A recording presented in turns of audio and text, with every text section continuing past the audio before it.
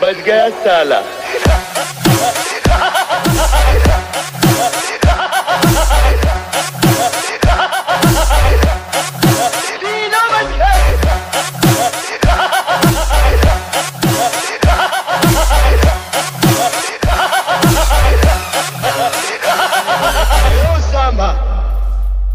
कितने आदमी थे इस इलाके में नए आए वरना शेर खां को कौन नहीं जानता?